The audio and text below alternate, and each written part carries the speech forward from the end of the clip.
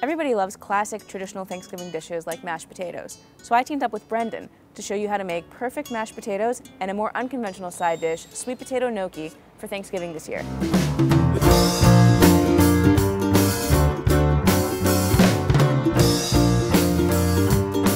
This week on Working Class Foodies, we started off with a simple and traditional recipe for mashed potatoes. You can use russet or Yukon potatoes for this. The russets are going to be a little bit drier in texture, so you might need to add a little bit more butter and cream later. Regardless of what kind of potatoes you're using, peel them. We use about a pound and a half of russet potatoes, and then cut them down into equally sized pieces.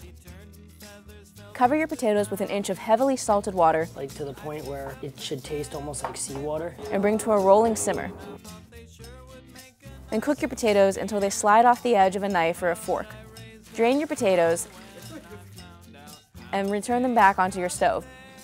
After you've drained your potatoes, melt together about half a stick of butter and a cup of whole milk or heavy cream in a saucepan.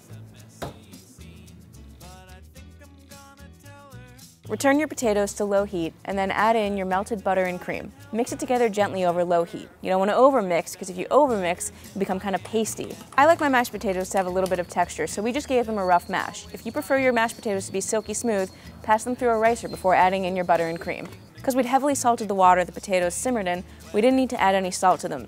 We added a little bit of white pepper. That's it. That's all you have to do to make these perfect mashed potatoes little butter, little cream, salt and pepper. Serve. If you're lactose intolerant or you just want to make your mashed potatoes taste a little bit lighter, you can replace the milk with olive oil.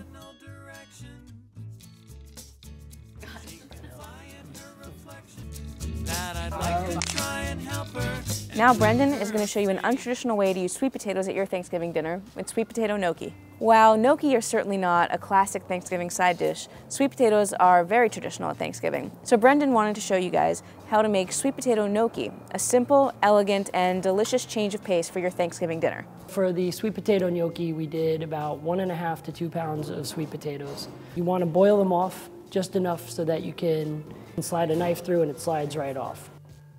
So we're gonna just take those out. We're gonna dump the water and then we're just gonna let them cool down. Let them just sit for a while and just so that you can handle them. You wanna get them to cool just enough that you can slide the skins off. Once you slide the skins off, you want to mash the sweet potatoes up. Uh, you can use a ricer or a little food mill. Maybe you can do them by hand if you want, but you really want to try and get it as smooth as possible. I like the ricer because it really kind of gets it nice and smooth. Pinch of salt. Once you have the sweet potatoes all mashed up, we did about three cups of flour. That's give or take depending on how much starch is actually in the sweet potatoes and stuff. It could be two, it could be three, could even be three and a half. So just shoot for about three cups of flour. You want to incorporate that slowly with an egg. Kind of whisk the egg together and just let it come together kind of so that you have a nice soft dough.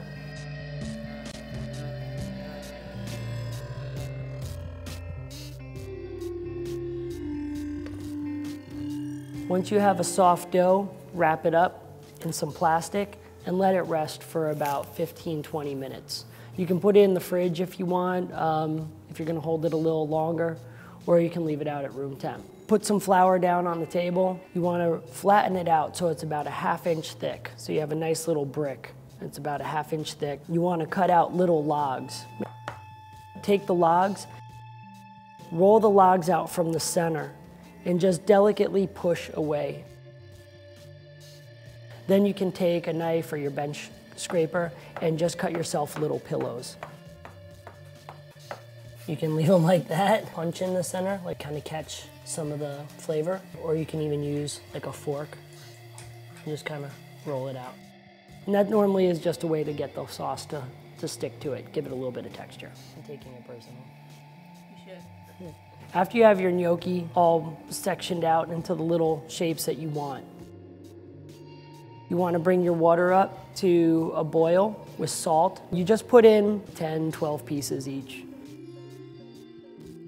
And then once you drop the pasta in, just give it a little bit of a stir and make sure they're not sticking to the bottom. After about a minute or so, you'll start seeing the gnocchi rise to the top of the water. Once they all come up, you'll know that they're ready. Then you can take them out, throw them into a pan with your sauce. So just get your pan nice and hot, get your butter in there. We browned half a stick of butter in a pan. It just turns brown almost immediately. When the butter was brown, we threw in a bunch of fresh sage leaves and just let them fry in the butter. Then we tossed in our gnocchi. Make sure they don't stick and just toss them in the butter. And a little bit of the pasta water.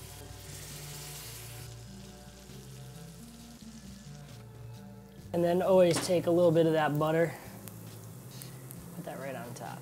And that was it sweet potato gnocchi and a brown butter sage sauce. This mashed potato recipe yielded enough to serve at least eight people for Thanksgiving dinner, for a total cost of $3. Brendan's sweet potato gnocchi recipe also cost about $3 and yielded four to six servings depending on how large or small you cut your gnocchi. So that's what I'm doing with potatoes for my Thanksgiving dinner this year. Let me know in the comments below what you're going to be serving for your Thanksgiving side dishes this year, and tune in next week for a Thanksgiving dessert face-off. See you next week on Working Class Foodies.